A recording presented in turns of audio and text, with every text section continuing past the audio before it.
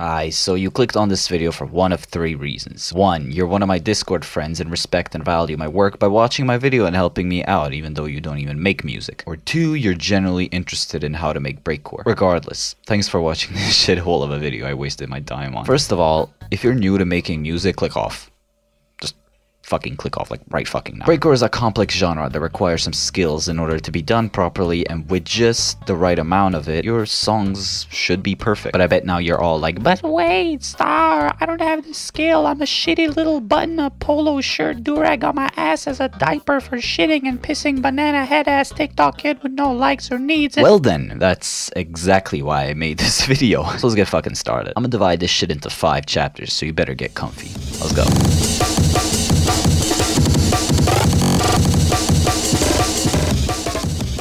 What you just heard was a killed Amen break aka chopped up Amen break. The Amen break is a drum break that has been widely sampled in popular music. It comes from the 1969 track Amen Brothers by the soul group The Winstons, released as the B-side of the 1969 single Color Him Father. The drum break lasts about 7 seconds and was performed by Gregory Coleman, but we don't care about that. I know you're here because you want to make those overly quick Amen breaks dying with a set of high-pitched anime OST samples that makes your fucking ears bleed. No, no, no, no, no, no. We don't do that here, honey. Breakcore is unique, but can have slight differences, and not gonna lie, it's pretty fucking hard to define the song's genre whenever you hear an Amen break. Some people say, oh no, that's jungle, oh no, that's breakcore, oh no, that's drum and bass. Okay, I'll tell ya they're all the exact fucking same. Jungle is ambient and quiet apart from breakcore. Breakcore is more focused on the break itself more than anything else in the track. But you know, if you want to be that guy, then fuck it up as much as possible. Drum and bass is a genre, meanwhile jungle and breakcore are its subgenres. It's simple. If you hear a fast-paced break with slight distortion and fullness to the track, then it's breakcore. If you hear a slower paced, quieter and calmer break with ambient pads or synths with a lot of reverb, then it's jungle. And if you hear, well,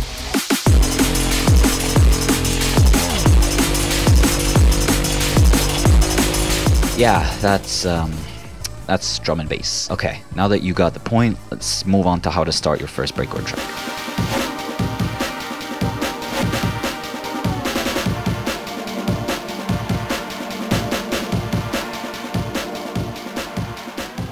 Arranging breakcore tracks ain't that hard. It's just like arranging any song. Put your shit up, put some effects for intro, make it long, and then the drop. But I believe you know how to do that, so let me show you how to kill a break. Killing a break basically just means to fuck up a break sample to your own way, make it longer and merge it either with another break sample, mix it differently, or just changing it up differently than it originally is. Which is basically all that's breakcore about killing breaks. If you don't know how to do that, then you should try Jungle. Jungle is more simple-er to do. As long as you know how to do some good ambient pads and use the right VST, you're good. But again, we're not here for that. I'm here to teach you how to fuck breaks properly and make a song with them. Make sure it fits well with the sample or your own melody you're gonna use. Place it down and then start chopping. I recommend using step for the snap to grid because you can get each element of the break easier. Then play around with it. Turn into a fucking rage beat hi-hat pattern. Something like this.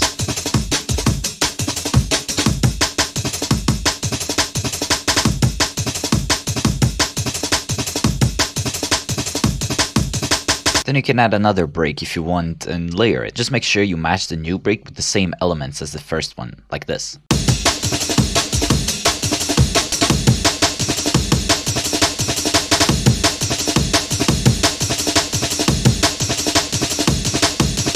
Okay, now that you kill your break, it's time for the sample or melody.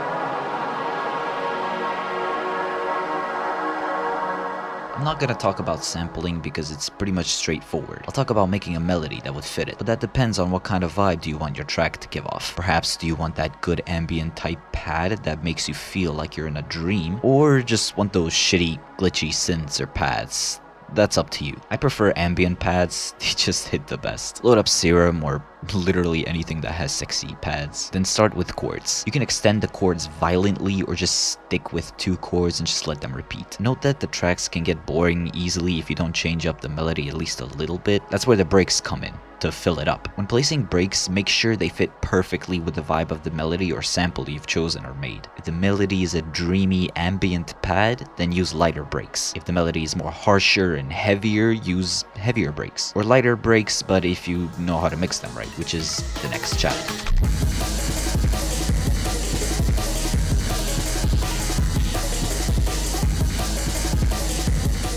When it comes to mixing, it's something you have to be worried about because it's definitely a fucking bummer. So let's keep it simple. Pads, reverb.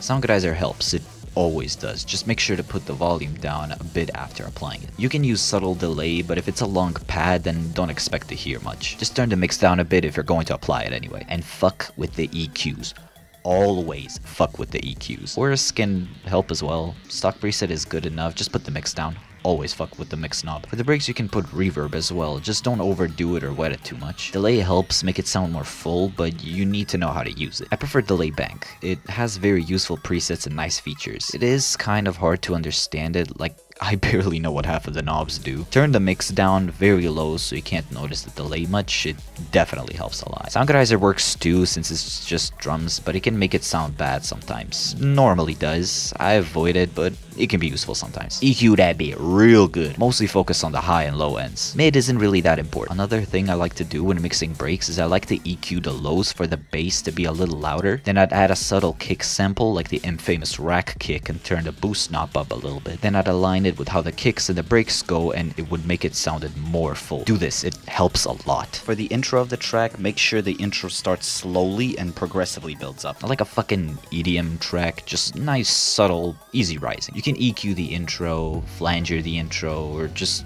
don't do anything. Let the melody play first, then make intro drums right before the drop starts. Be creative, that's the key. You can do the same for the outro. What I like to do is reverb the ending a lot so you have that long ending tail at the end. It just makes it better. I don't know how. Oh yeah, and a tip. When you're about to stop your breaks and it sounds too immediate, the thing I like to do is cut out the snare part of a break sample, put snap to grid to 1 per 6 speed or 1 per 3 step, and make a small roll with the snares and put delay. Like so. Sounds cleaner, right? The point of breakcore is to be creative with it. If you don't have that full sound to your track, people are just gonna find it boring. So in conclusion, reverb, delay, and EQ help make the song sound more full. And just like that, we're done with the track. Now what's left is one part that isn't really that important, but I decided to throw it out anyway.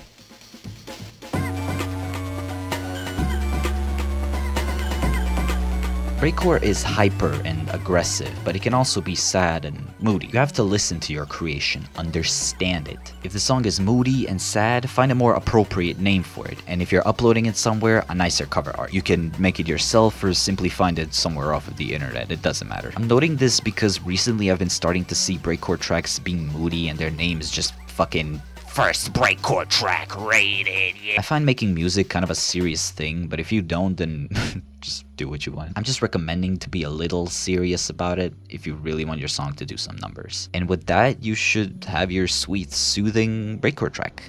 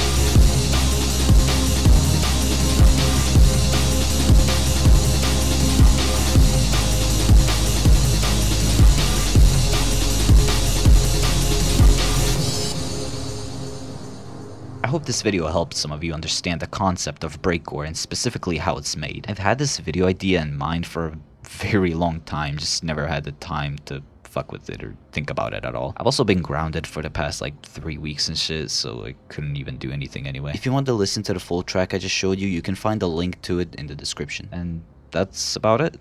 Thanks for watching. Bye bye.